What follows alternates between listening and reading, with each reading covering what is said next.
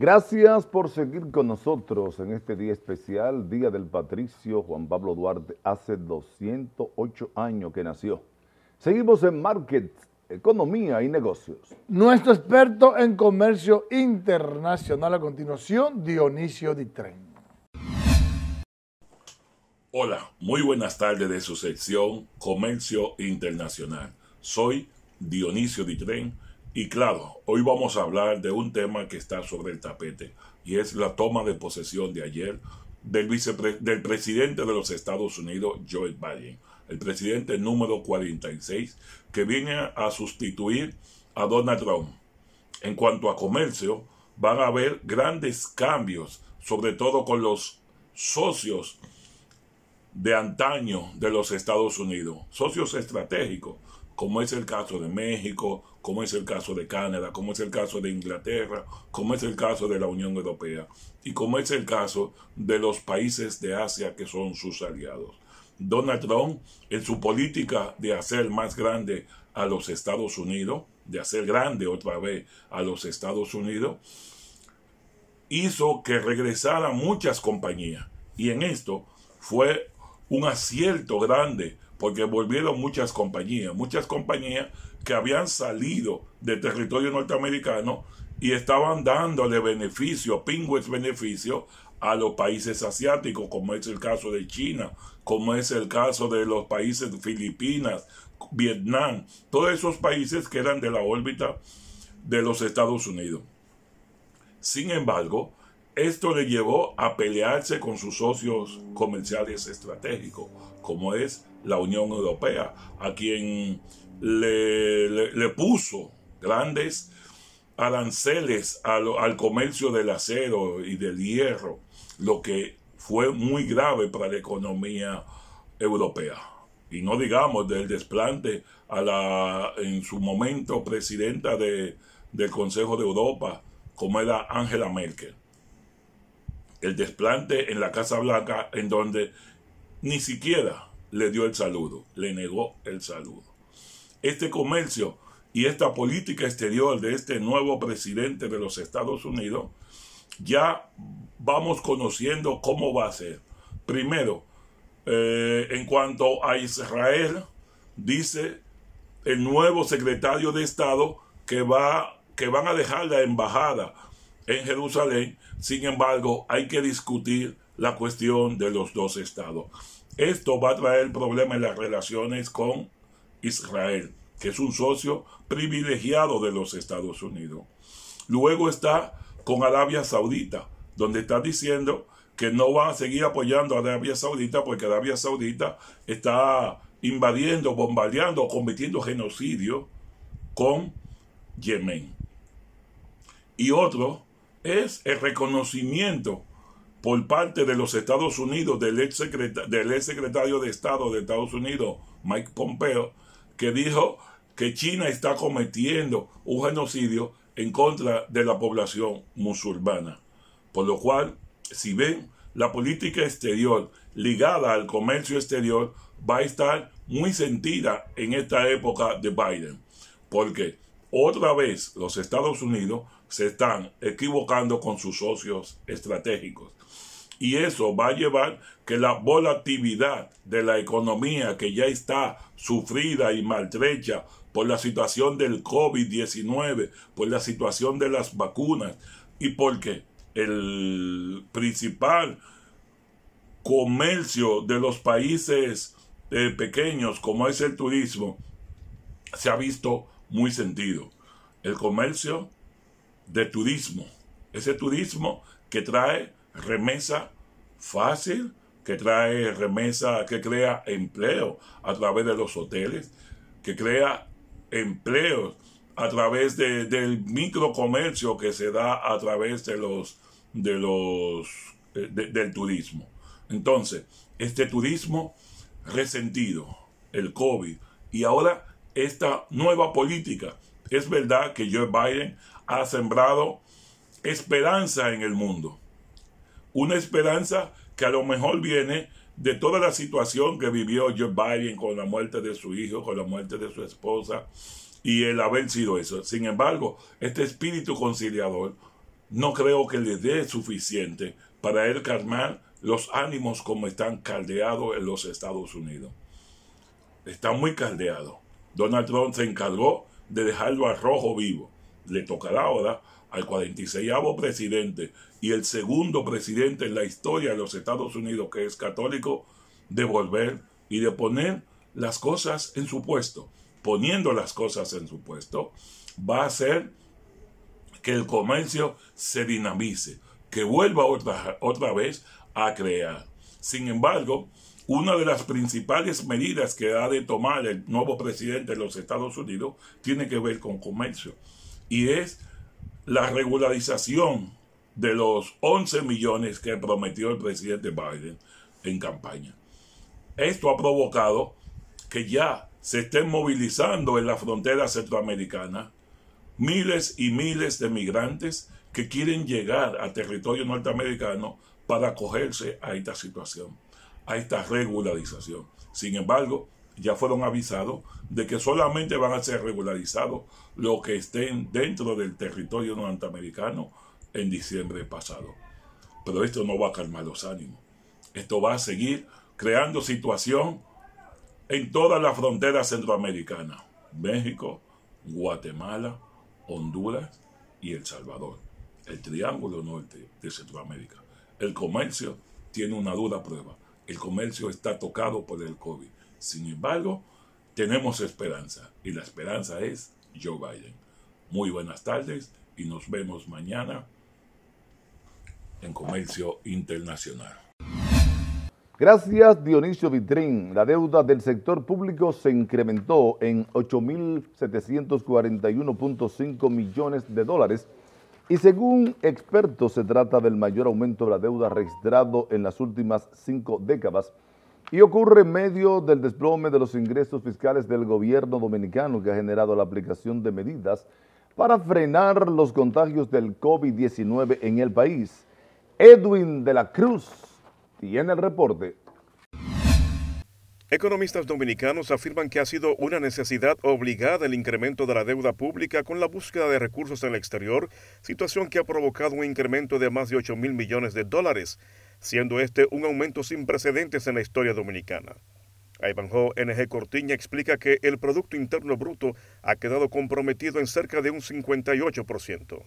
Eso equivale, en términos de porcentaje del PIB, de un crecimiento de alrededor del 18% al pasar de 40.4% del PIB a 58% del PIB. Alexis Martínez, decano de la Facultad de Economía de la UAS, cree que el aumento de la deuda externa afectará los proyectos y programas sociales del gobierno. Va a afectar severamente los planes de desarrollo, los programas sociales y todas las iniciativas que normalmente tienen los gobiernos de igual modo, Antonio Siriaco Cruz, vicedecano de la Facultad de Economía de la UAS, afirma que de no producirse una reforma fiscal, seguirá la tendencia al endeudamiento. Mientras esto siga y no se haga una reforma eh, fiscal, es evidente que el gobierno tendrá mucha dificultad en las finanzas públicas. Los economistas coinciden en que el origen y solución de la deuda ha sido el tema de la pandemia y la vacunación para combatirla respectivamente. Al déficit fiscal estructural que ronda el 3% del PIB y a los recursos extraordinarios que requirió la economía dominicana durante el 2020 a causa del COVID-19. Nosotros lo que apostamos y queremos es que pronto el tema de la vacuna se resuelva para que podamos nuevamente retomar el ritmo de crecimiento. Hasta que no exista un plan importante, efectivo de vacunación, va a haber incertidumbre, el gobierno no tendrá recursos suficientes y entonces tendrá que seguirse endeudando. Existe gran preocupación entre los estudiosos de la economía dominicana por la posibilidad de que el Producto Interno Bruto se vea comprometido en más de un 70%. Para Market, Economía y Negocios, Edwin de la Cruz. Gracias, Edwin. Mira, eh, Edwin, viste precisamente este reporte de, de Edwin, donde te lo quiero vincular al comentario que hice en el primer bloque de que la situación de la deuda externa se está dificultando y entonces el gobierno necesita la reactivación económica, si no, habrá problemas. Y por supuesto que en este año se discuta tanto el pacto eléctrico como el pacto fiscal, para que entre posteriormente. Pero que ya ese consenso, consenso exista, ese proyecto esté elaborado para que una vez vengan las condiciones adecuadas, que la economía se reactive, entonces entre en vigencia el, eh, el pacto fiscal para que la, las, las finanzas públicas sean sostenibles en el tiempo. ¿Sabe que la gente malinterpreta el refrán que dice a Dios rogando y con el mazo dando? Se ve como negativo, pero no es negativo. Lo que se planteaba en ese tiempo era que tú podías estar orándole a Dios, tuve, pero tenía que ir trabajando con la otra mano. Entonces eso es lo que Luis aparentemente está haciendo, como tú dijiste, Edmundo, de que se, se siga eh, todas las gestiones con la vacuna, pero mientras tanto hay que seguir reactivando la economía. Así es. El sector empresarial respaldó el llamado que ha hecho el presidente Luis Abinader para que se produzca un gran acuerdo nacional para enfrentar la crisis sanitaria, económica y social generada por la pandemia del COVID-19. El director ejecutivo del Consejo Nacional de la Empresa Privada CONEP, César Dargán, sostuvo que la entidad apoya todas las iniciativas que generan un gran acuerdo nacional para enfrentar la crisis sanitaria, la crisis económica y la crisis social generada por la pandemia. De su lado, la presidenta de la Asociación Nacional de Jóvenes Empresarios, Ángel Susana Martínez Nadal, se mostró de acuerdo con un gran pacto nacional como única vía para enfrentar la crisis que afecta al país producto de esta pandemia. El Consejo Económico y Social no tiene fecha de convocatoria para debatir temas como la firma de un pacto eléctrico, como también un pacto fiscal que están pendientes para desde el año 2012 y que están establecidos en la Ley de la Estrategia Nacional de Desarrollo. El presidente Abinader en octubre pasado prometió que se firmará el pacto fiscal para que esos impuestos entren en vigencia a partir del año 2022, pero aún no se han dado pasos concretos para ese propósito. Choferes y amas de casa están desesperados según Maciel en este reporte, debido al incremento inusitado y constante del precio de los combustibles. Vamos a la historia. Los choferes de la ruta de Sabana Larga en Santo Domingo Este no descartan aplicar un aumento en los pasajes debido a las continuas alzas en los precios de los combustibles. Aseguran que en los últimos meses solo han tenido pérdidas como consecuencia de la pandemia. Claro, pues si el gobierno no toma algo en esto hay que aumentar porque para uno puede cubrir, porque uno comprando el galón de gas carísimo y, no se está eh, vendiendo nada. Imagínate, hay que eso, tratar de sobrevivir como, como se pueda. No, hay de otra, pero estamos forzados. A ver, hay que subirlo obligado porque imagínate, e, eso no es culpa de uno, eso solo es el gobierno que tiene la culpa. ¿Y no se quejan los pasajeros? Claro que se queja todo el mundo. En tanto que amas de casa narran los malabares que deben hacer para sustentar sus familias, algunas con pequeños negocios que aseguran se van a la quiebra por el precio del gas y el aumento de los productos básicos. Hay que venderla más cara porque está muy caro. ¿Se queja la gente por eso? Oh, ¿cómo que se queja? Claro, claro que la gente se queja. Uno manda a comprar 500 pesos de gas y le echan 3 galones y medio porque está a 128 pesos. El viernes, oh, ayer, cuando viene a ver, subió a 129. Pues sé que trabaja, tú sabes, pero ayer me dijo, se me gastó está a 130 pesos. Me dice, mira, ahora tengo que comprar, con lo que compraba tanto, ahora me tengo que comprar 4 a 130 pesos. Para la semana del 23 al 29 de enero, los combustibles aumentaron entre un peso con 70 y 3 pesos con 50 centavos, a excepción del gas licuado de petróleo. La gasolina premium se vende a 226 pesos con 60 el galón para un incremento de 3 pesos con 50, mientras que la regular aumentó 3 pesos con 20 y se despacha al público a 213 con 10 centavos por galón. El gasoil óptimo subió 2 pesos con 60 y se comercializará a 180 pesos con 70 centavos. Los precios del gas licuado de petróleo y el gas natural se mantienen invariables con 128 pesos con 10 el galón y 28 con 97 el metro cúbico respectivamente. Gracias, Maciel. Residentes en el sector Valle Encantado en Los Alcarrizos reclaman a las autoridades municipales y al gobierno central el arreglo de sus calles y un drenaje pluvial que evite inundaciones en este sector. A decir de los lugareños, el polvo y el lodo los arropa en pleno siglo XXI ante la mirada indiferente de las autoridades. Joran González estuvo en el lugar y nos cuenta las calamidades de esos infelices. Cansados de las promesas de las autoridades, dicen estar los residentes en el sector Valle Encantado del municipio Los Alcarrizos, ya que llevan más de 20 años a la espera de que sus calles sean asfaltadas.